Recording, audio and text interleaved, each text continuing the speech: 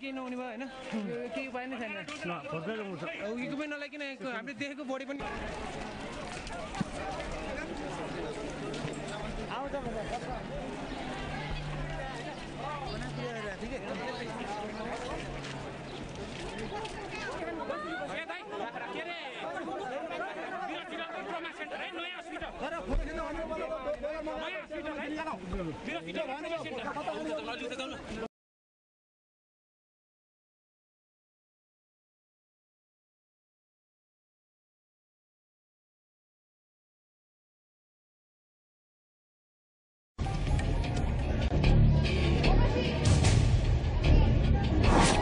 इक्यासी साल बाद, ऐसा भयानक भूकंप। जब एक साथ कांपे चार देश।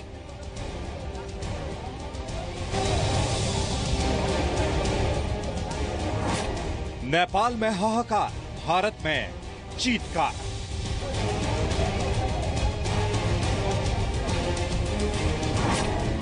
नेपाल से राजस्थान तक थरथराई धरती। बांग्लादेश से लाहौर तक तबाही। भूकंप से काँप उठा माउंट एवरेस्ट। फट गई सड़कें, गिरी इमारतें। नेपाल ने हिला दिया हिंदुस्तान। तबाही एट सात दशमलव नौ। जी हाँ नेपाल में आया भूकंप, जितनी बड़ी तबाही लेकर आया, यकीन मानिए, उससे बड़ी चेतावनी भी हमें और आपको देकर गया है। भूकंप के झटके नेपाल से शुरू हुए थे, पूरे उत्तर भारत में इन्हें महसूस किया गया। भूकंप की वजह से सबसे ज़्यादा तबाही, जैसा कि लगातार हम आपको जी न्यूज़ पर तस्वीरों के ज़रिए भी दिखा रहे हैं। हमारे पड़ोसी मुल्क नेपाल में हुई है, जहाँ आठ सौ छिहत्तर लोगों की मौत हो चुकी है। सिर्फ़ काठमांडू में ही हम आपको बता दें, चार लोगों की जान गई है। भारत की अगर आप बात करेंगे तो भूकंप से मरने वालों की संख्या अपडेट आपको कर दें। बढ़कर 41 तक पहुँच गई है। बिहार में 29, उत्तर प्रदेश में नौ पश्चिम बंगाल में तीन लोगों की मौत हुई है। और चिंता की बात यह है कि इन आंकड़ों में और इजाफा हो सकता है। साथ ही आपको यह भी जानकारी दे दें कि विदेश मंत्री सुषमा स्वराज ने ट्वीट के ज़रिए ये जानकारी दी है कि नेपाल में फंसे 250 भारतीयों को भारतीय वायुसेना भारत लेकर आएगी।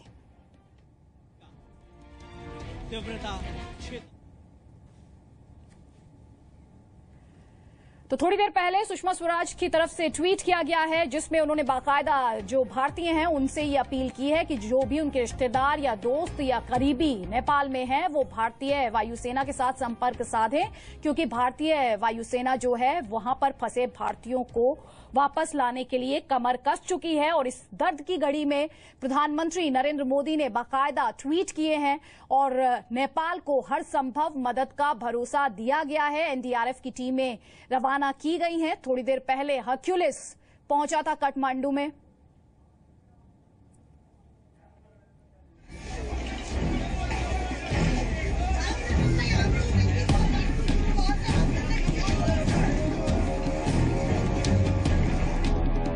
ग्यारह बजकर इकतालीस मिनट, पहला झटका।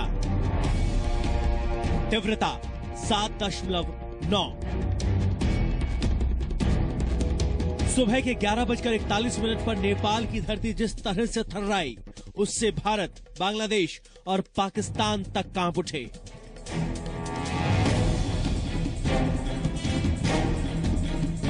दहशत और बढ़ गई जब धरती 35 मिनट बाद फिर से थर्राने लगी। बारह बजकर पंद्रह मिनट, दूसरा झटका। तीव्रता छह दशमलव छह।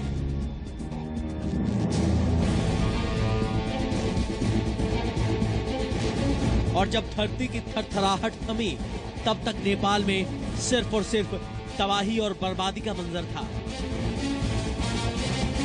इस भयानक भूकंप के चलते नेपाल की मशहूर थारहार मीनार ढह चुकी थी और मलबे में फंसे थे सैकड़ों लोग, जिनकी सलामती की खबर अब तक सही ढंग से नहीं मिल पाई है।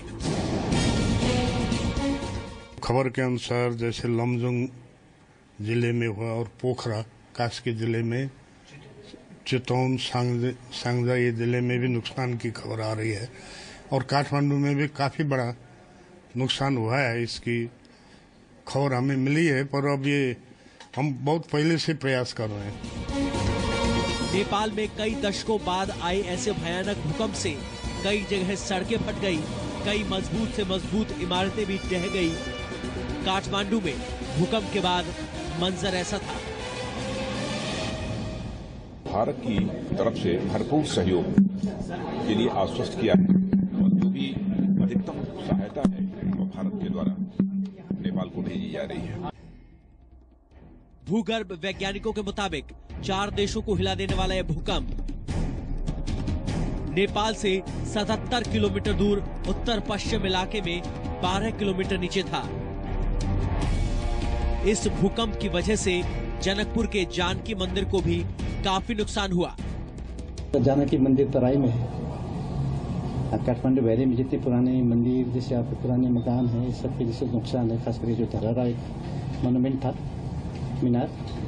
हाँ, वो भी जैसे ध्वस्त हुआ है काफ़ी प्राचीन इमारतें भी जैसे आपको जैसे यानी नुकसान हुई है। तो जन धन की क्षति का ज़्यादा अब संभावना लग रहा है अभी तक की स्थिति। वहीं भूकंप की वजह से माउंट एवरेस्ट में भारी हिमस्खलन हुआ है। इसकी वजह से माउंट एवरेस्ट पर अब तक 18 पर्वतारोहियों की मौत हो चुकी है। और कई पर्वतारोही अब लापता हैं। कई बेस कैंप पूरी तरह से बर्बाद हो चुके हैं। माउंट एवरेस्ट से दर्जनों बर्फ़ की चट्टाने खिसक जाने की खबर है। इस भूकंप के बाद नेपाल इंटरनेशनल एयरपोर्ट को अस्थायी रूप से बंद कर दिया गया है। भारत की ओर से मदद के लिए एनडीआरएफ की टीमें सभी ज़रूरी इक्विपमेंट्स के साथ नेपाल पहुँच गई हैं। देखा था थोड़ा बहुत, लेकिन आज जो दोपहर को देखा, माने यदि एक मिनट भी मैं देरी से निकलता पंडाल से तो वहाँ हज़ारों लोगों की लाशें बीत सकती थी। एक मिनट पहले निकला कुछ लोग मंच के दाईं ओर से निकल गए, कुछ बाईं ओर से, कुछ पीछे से, कुछ आगे से, और पंडाल लगभग खाली हो गया था। जैसे ही बाहर निकला तो दाहिनी तरफ़ देखा तो एक चार पाँच मंजिली इमारत थी, वो ताश के पत्तों की तरह गिर रही थी। जैसे बाईं तरफ़ देखा तो जो चार पाँच हज़ार लोगों के लिए टीन साइड का पंडाल बना हुआ था, पूरा ज़मीन पर बिछ चुका था। सामने देखा तो 40-50 फीट ऊँचे ऊँचे पेड़ गिरे हुए थे। मैं जिस गाड़ी में बैठा तो गाड़ी जो है ऊपर नीचे हो रही थी। और मैं बाहर निकला तो मैं खुद ही जो ऊपर नीचे हो रहा था। मुझे ही नहीं पता लगा कुछ क्षणों के लिए कि ये हो क्या रहा है। थोड़ी देर बाद जब बात समझ में आई तो पता लगे तो भूकंप है। और उसी के अगले क्षण में देखता हूँ कि कुछ लोग मेरे सामने ज़मीन पर लेटे हुए किसी का सिर फटा हुआ है, करीब साठ लोग उसमें घायल हुए। लेकिन यह भी भगवत कृपा की यह एक मिनट पहले जो है कार्यक्रम संपन्न हो गया। यदि एक मिनट की भी देरी होती तो बहुत बड़ा अनर्थ हो सकता था। अभी जैसा कि मैंने दोपहर को भी चैनल्स पर बताया था कि सैकड़ों लोगों की संभावना है मरने की, लेकिन अभी तक जो आंकड़े आए हैं, वो सैकड़ों की संख्या में तो आ चुके हैं। मैं अभी इसमें ज़्यादा कहना नहीं चाहता, लेकिन बहुत बड़ा जान माल का नुकसान हुआ है। और मात्र एक ऐतिहासिक इमारत के ढहने की ही बात नहीं, जो धरहरा था कि जो नौ मंजिल का था। उसमें सैकड़ों लोग तो दफन हो गए। लेकिन उसके अलावा यहाँ कई बिल्डिंगें काठमांडू से लेकर के, पोखरा से लेकर के और लुम्बनी से लेकर के पूरे नेपाल में और इसका असर भारत तक गया है, जो सैकड़ों और संभावना है हज़ारों लोग जो इस त्रासदी में दिवंगत हो गए। उनके लिए हमारी श्रद्धांजलि, उनके परिजनों को भगवान इस गम को सहने की शक्ति दे। और हमने तो इसके बाद भी यहाँ पर आकर के हवन किया, प्रार्थना की और अपने सभी कार्यकर्ताओं को सेवा में लगाया हुआ है। अभी भी जहाँ मेरा कैंप चल रहा था, वहाँ करीब चालीस पचास हज़ार लोग सुबह आकर के योग कर रहे थे। वहाँ अभी लाखों की संख्या में लोग बैठे हुए हैं। मैंने पहले तो सोचा कि सबके लिए ताज़ा भोजन बना दें, लेकिन वैसा अभी संभव नहीं हो पा रहा है। और उसमें भी भगदड़ मचने की संभावना है तो बड़ा संभल संभल करके सेवा करनी पड़ रही है। तो हम अ, कोशिश कर रहे हैं कि वहाँ सब लोगों तक हम पानी और पतंजलि के बिस्किट क्योंकि यहाँ पर भी पतंजलि आयुर्वेद का पूरा सामान है। जैसे हमने पहाड़ में उत्तराखंड में त्रासदी दिया है तो वहाँ पर जो है 40-50 ट्रक हमने बिस्किट के और पानी के सबसे पहले भिजवाए। ऐसे यहाँ पर भी हम कोशिश कर रहे हैं जितना भी हमें पानी उपलब्ध हो जाएगा जितने भी हमें पतंजलि के बिस्किट से लेकर के और जो भी रेडीमेड जो है खाने का सामान तैयार हो जाएगा उन लोगों तक पहुँचाने की लिए हमने सब कार्यकर्ताओं को लगा दिया है। तो इस सेवा में भी हमारे सभी कार्यकर्ता लगे हैं। और जहाँ जहाँ लोग फंसे हुए हैं, मैं सबसे एक अहम बात ये कहना चाहूँगा कि यहाँ का प्रशासन बहुत मुस्तैद है। पुलिस से लेकर के जितने भी यहाँ के सरकारी डिपार्टमेंट्स हैं, लोगों की सेवा करने के लिए जो है पूरी तरह से अपने आप को झोंके हुए अपनी जान की परवाह किए बिना भी। माने पुरुषार्थ और पराक्रम यहाँ के जीन्स में है, नेपालियों के। और लोग बहुत सेवा करने में लगे हैं, लेकिन हॉस्पिटल्स भी भरे हुए हैं, क्षमताएँ उनकी अपनी सीमित है। जो हमारा शिविर चल रहा है, जहाँ पर, वहाँ पर भी हमने रोगियों के लिए व्यवस्था की हुई थी, वहाँ पर भी जो है सरकार की तरफ़ से रोगियों को भेजा गया। तो हमने कहा कि आप रखिए यहाँ पर, क्योंकि हमने पंडाल बनाया हुआ था काफ़ी बड़ा तो उसमें जो है कुछ डॉक्टर सरकार की तरफ़ से लोगों को मलहम पट्टी आदि कर रहे हैं, क्योंकि घायलों की संख्या तो हज़ारों में है ही जो लोग जो है इस पूरी त्रासदी में हमेशा हमेशा के लिए मौत के आगोश में सो गए, उनकी भी संख्या बहुत बड़ी है। एक बहुत बड़ी मुसीबत, एक बहुत बड़ा हम आपको लगातार बता रहे हैं किस तरीके से अर्थक्वेक को लेकर अपडेट्स पहुँच रहे हैं। आपको बता दें, नेपाल में ही अगर आप बात करेंगे तो करीब आठ सौ छिहत्तर लोगों की जान जाने की पुष्टि की जा चुकी है। और ना सिर्फ़ जानमाल का नुकसान हुआ है, एक तरीके से कहिए नेपाल का जो हिस्ट्री के साथ कनेक्शन था, इतिहास के साथ कनेक्शन था, आज कई ऐतिहासिक इमारतों के जमींदोज होने के बाद वो कनेक्शन भी आज टूट गया है।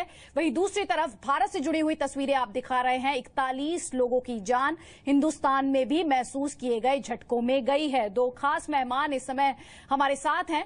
और आपको बता दें, हमारे साथ विपुल आहूजा साहब हैं, जो कि स्ट्रक्चरल एक्सपर्ट हैं और साथ ही हैं बीके रस्तोगी साहब director of seismology Gujarat university B K Rastogi साहब, मैं आप ही के पास आती हूँ। सिज्मोलॉजी से जुड़े कई सवाल हैं, जिनके जवाब मैं आपसे जानना चाहूँगी, लेकिन विपुल आहूजा साहब हमारे साथ इस समय स्टूडियो में हैं। आहूजा साहब 2001 में जिस तरीके से भारत ने देखा था, हमने इस दर्द को महसूस किया है। और जिस तरीके के काम में आप हैं, आज जब उन झटकों को महसूस कर रहे थे, हिंदुस्तानी तो हर कोई डरा हुआ था, सहमा हुआ था। बिल्डिंग्स, जो आज की मौजूदा बिल्डिंग्स हैं भारत की, उनको देखकर आपको लगता है कि अब भारत 7.9 रिक्टर स्केल, जिसका मैग्नीट्यूड होगा, जिस अर्थक्वेक का उसको स्टैंड कर सकता है स्टैंड कर सकती है इंडियन बिल्डिंग्स मेरे ख्याल में 95 90 टू 95 परसेंट बिल्डिंग जो है, वो नहीं कर सकती हैं। ये कुछ शायद शहरों बड़े शहरों में अ, 2004-5 के बाद में कुछ डिज़ाइन प्रॉपरली डिज़ाइन बिल्डिंग जो रेप्यूटेबल स्ट्रक्चरल इंजीनियर्स ने कुछ बनाई होंगी वो हाई राइज बिल्डिंग शायद कुछ सेफ्टी फुल सेफ्टी में होंगी। पर वो भी कहना मुश्किल है क्योंकि ना तो हमारा प्रोफेशन रेगुलेटेड है और ना पूरी कंस्ट्रक्शन इंडस्ट्री तो इससे ये कहा ये कहा जाएगा कि एक्चुअली ये काफ़ी डेंजरस सिचुएशन है। जी। आ, इसमें एक विल चाहिए जो कि लास्ट करना चाहिए जब अर्थक्वेक की याद खत्म हो जाती है उसके बाद जी, भी। क्योंकि लगता है कि 2001 के बाद भी 20000 जानों जाने के बाद भी इंडिया कुछ नहीं सीखा। जी जी बिल्कुल। अपने आप में ये बड़ा सवाल है कि हम सीखेंगे कब? जैसा कि विपुल साहब कह रहे हैं हमारे साथ अभी के रस्तोगी साहब भी हैं डायरेक्टर ऑफ़ सिज्मोलॉजी हैं गुजरात यूनिवर्सिटी से। रस्तोगी साहब हम लगातार पढ़ रहे हैं ये कहा जा रहा है ये शैलो अर्थक्वेक था। इसका जो सेंटर था वो सिर्फ़ ज़मीन के बार कोई ग्यारह दे रहा है कोई पंद्रह बता रहा है लेकिन जैसा शैलो अर्थक्वेक था ये ज़ाहिर तौर पर जो डिस्ट्रक्शन थी वो ज़्यादा लेकर आया। भारत के लिहाज से मैं जानना चाहती हूँ, समझना चाहती हूँ। हमारे दर्शकों को आप बताएँ, भारत कितनी बड़ी मुश्किल में इस समय आपको दिखाई दे रहा है। अगर सिज्मोलॉजी के हिसाब से बात की जाए तो। ये 7.9 मैग्नीट्यूड का जो डैमेज होता है, वो करीब 400 किलोमीटर की दूरी तक होगा।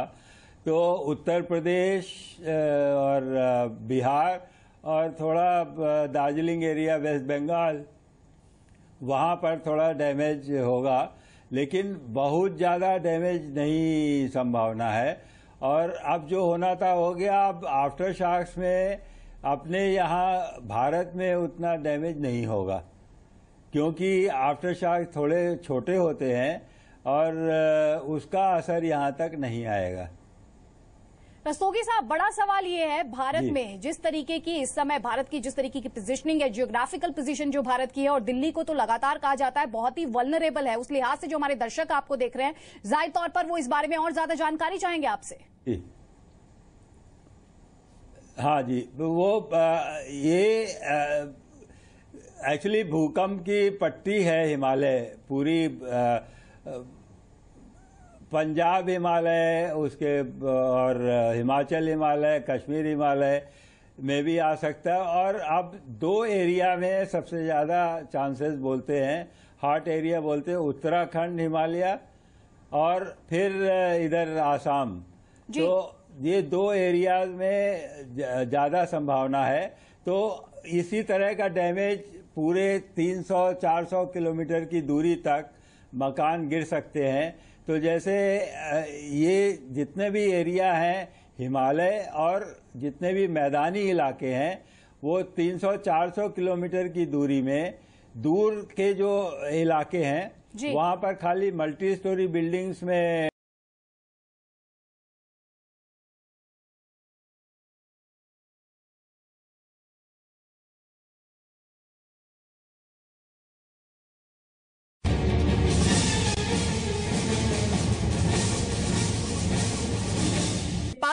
आए भूकंप के बाद हर तरफ़ विनाश ही विनाश नज़र आ रहा है। हर तरफ़ तबाही ही तबाही। अब तक नेपाल में 900 से ज़्यादा लोग मारे जा चुके हैं और बुरी खबर यह है कि ये आंकड़ा लगातार बढ़ रहा है। भूकंप ने नेपाल की राजधानी काठमांडू में कई ऐतिहासिक इमारतों को जमींदोज कर दिया है। काश्क मंदिर को नुकसान हुआ है, जानकी मंदिर को नुकसान हुआ है और वहीं स्वयंभू नाथ स्तूप पूरी तरह से तबाह हो गया। राहत की बात यह है कि मशहूर पशुपतिनाथ मंदिर को कोई नुकसान नहीं पहुँचा।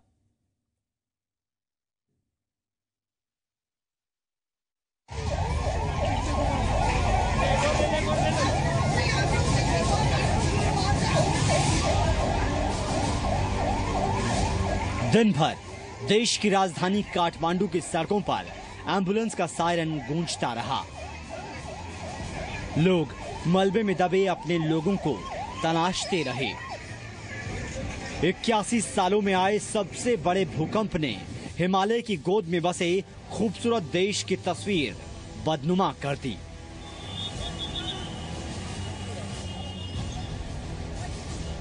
रिक्टर स्केल पर सात दशमलव नौ के भूकंप से काठमांडू में कई पुराने मंदिर और इमारतें ढह गई। काठमांडू का धरहरा टावर भी भूकंप के शक्तिशाली झटकों से मलबे के ढेर में तब्दील हो गया। जितने भी पुरानी इमारतें मंदिरें हैं पर्सनल बिल्डिंग्स हैं काफ़ी जैसे नुकसान है।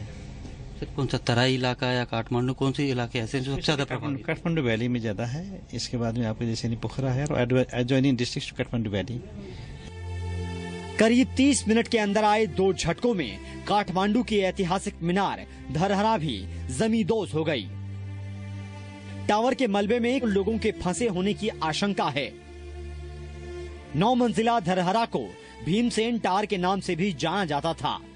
धरहरा टावर में कई विदेशी पर्यटकों के भी फंसे होने की आशंका है। मलबे में फंसे लोगों को बचाने के लिए रेस्क्यू ऑपरेशन अभी भी चल रहा है। हेलीकॉप्टर के ज़रिए राहत के काम पर नज़र रखी जा रही है।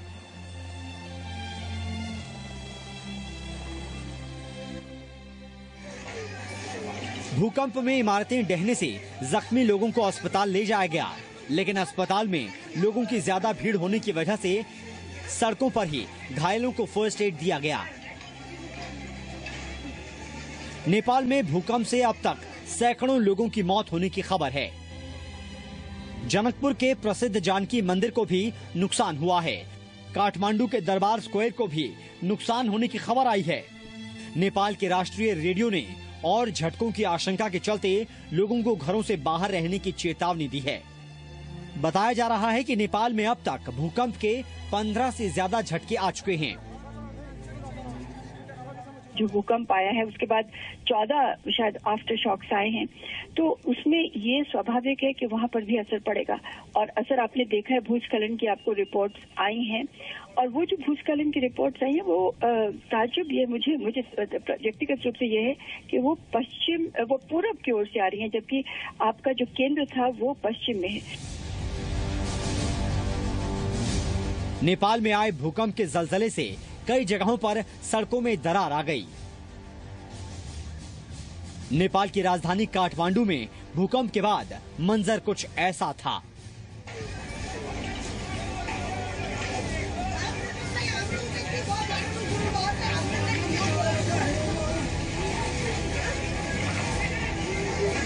भारत के बॉर्डर के ऊपर नेपाल हाँ, पॉइंट है ये। जी, जी, जी। और इसका जो अफेक्टेड एरिया है वो ये है?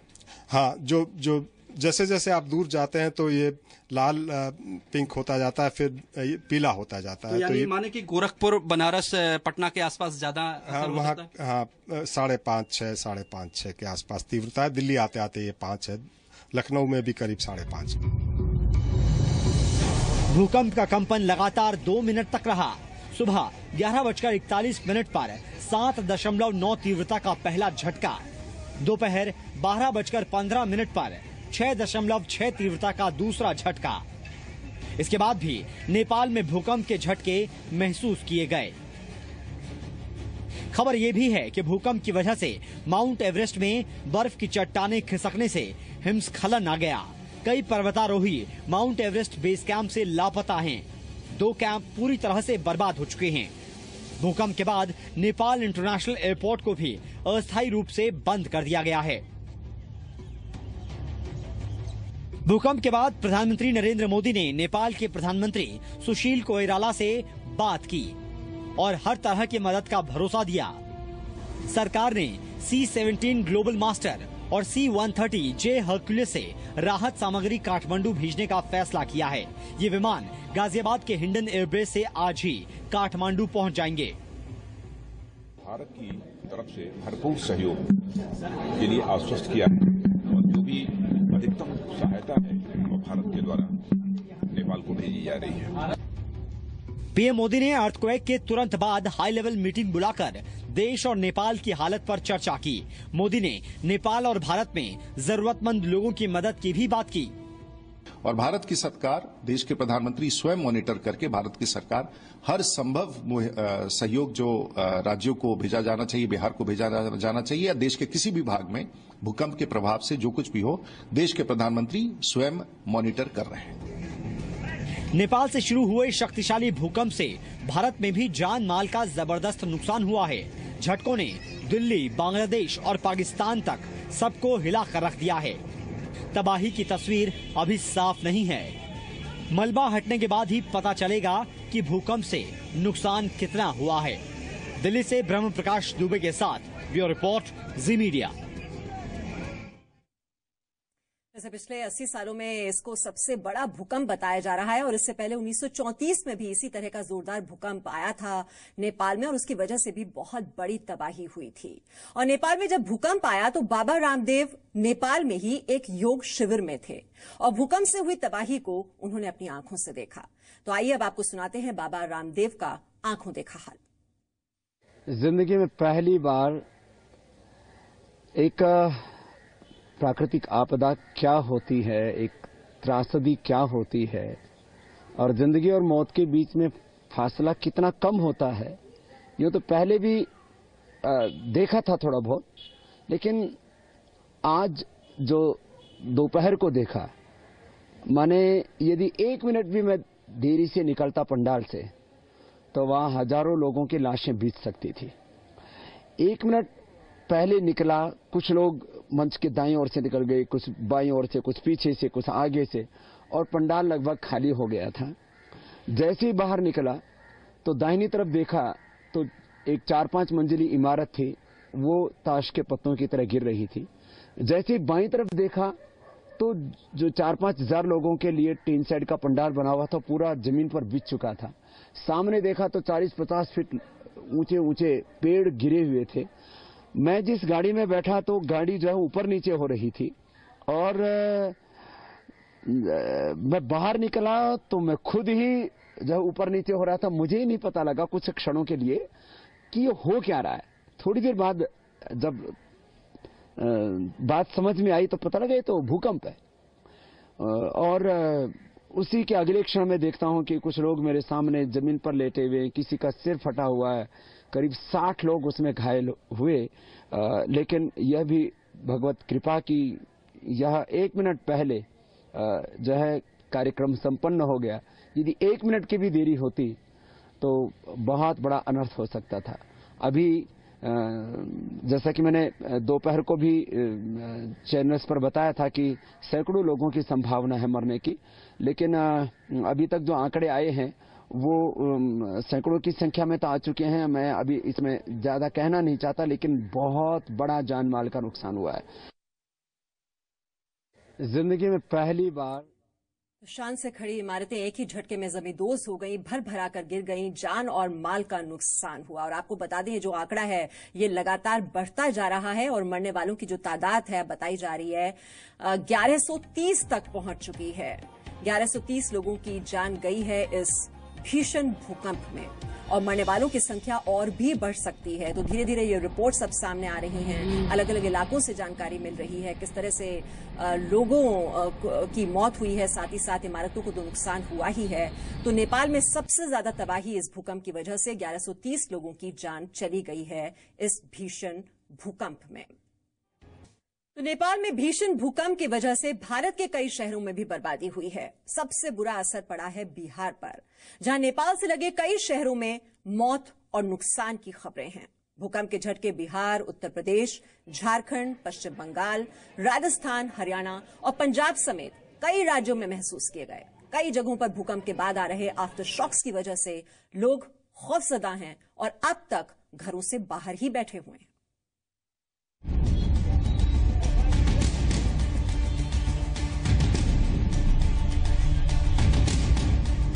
नेपाल में आए भूकंप से तबाही हिंदुस्तान में भी आई। पटना से लेकर सिलीगुड़ी और आगरा से लेकर कटिहार तक लोगों ने भूकंप के तेज झटके महसूस किए।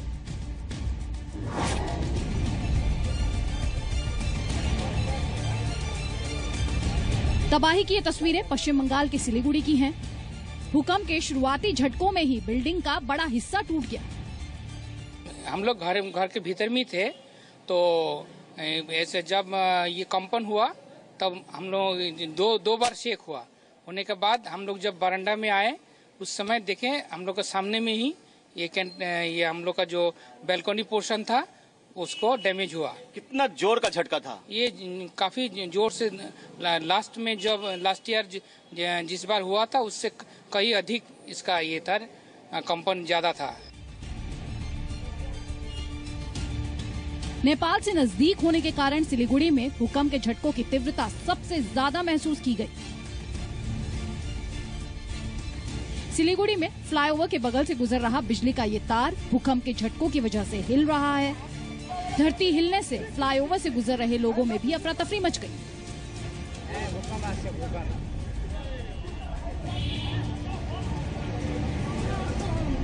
बहुत अजीब से लगा मेरे को तो लगा मैं, मेरे को चक्कर आ रहा, मेरा गाड़ी पूरा हिल रहा था। मैंने देखा शायद मेरा पंचर हो, गाड़ी बट रोका तो पंचर पंचर नहीं, और गिरने वाला था गाड़ी। और तब जाके मैंने ब्रिज में रोका, फिर देखा तो भूकंप आया, तब महसूस हुआ कि हाँ बहुत अच्छा झटका था। बिहार की राजधानी पटना में भूकंप की दहशत से लोग घरों से निकलकर सड़कों पर आ गए। पटना मेडिकल कॉलेज में इलाज करा रहे कई लोग भी मरीजों के साथ अस्पताल से बाहर चले आए। हम सीटी स्कैन करवा रहे थे बड़े भाई का। पूरा पैर मेरा हिल रहा था तो हमको लगा कि खासकर हमें को कुछ तो नहीं हो गया हम बाहर निकल देखे सारा बिल्डिंग का मोटा मोटा छड़ हिल रहा था। हमने सोचा कि भागे लेकिन हमारे पास एक मरीज़ था तो उसको हम छोड़ के भाग नहीं सकते थे। मरीज़ के कारण निकल नहीं पाए। नहीं निकल पाए। पटना में अर्थक्वेक से कई इमारतों को नुकसान पहुँचा है। भूकंप के झटकों के बाद मोबाइल फ़ोन नेटवर्क भी ठप हो गया। पूरे नॉर्थ बिहार में एहतियातन बिजली काट दी गई। पावर बिल्कुल उत्तर बिहार में काट दिया गया है ताकि सुरक्षा के दृष्टिकोण से।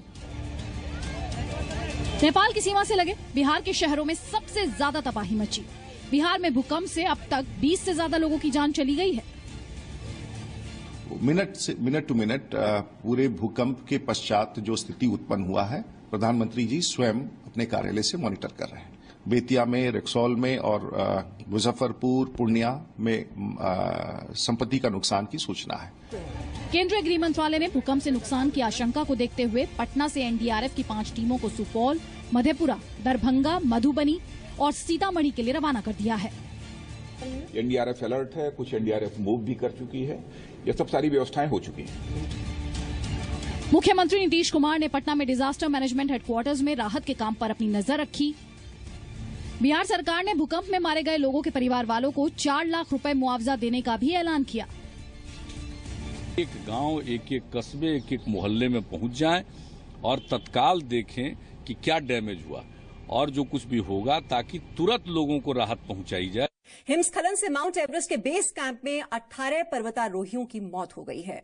भूकंप ने माउंट एवरेस्ट को भी ज़ोर का झटका दिया और उसके बाद आए हिमस्खलन ने पहाड़ के नीचे मौजूद बेस कैंप का नामो निशान मिटा दिया है।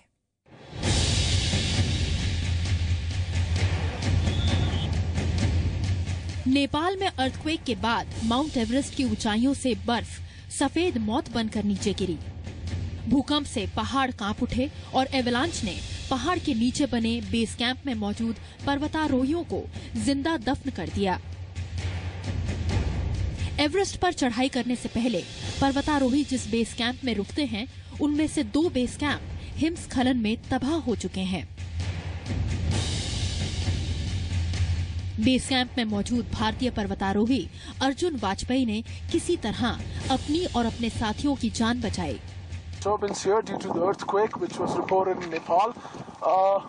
Uh, all along that base it's covered into clouds. Uh, we had quite a big few big avalanches coming down of those phases. Uh, from here we had a, quite a bit of rockfall. Uh, most of our team is okay. Uh, we're doing well. Some of our team members just moved up today towards Camp 1 and Camp 2. We still do not have any report from them. We're trying to get in touch with them. Some people have gone up towards uh, Camp 1. We should hear from them soon. I hope all is well up there. तस्वीरों में साफ़ है कि भूकंप की वजह से Everest base camp पूरी तरह तबाह हो गया है। आशंका है कि मरने वालों की संख्या और बढ़ सकती है। Bureau report, Zee media.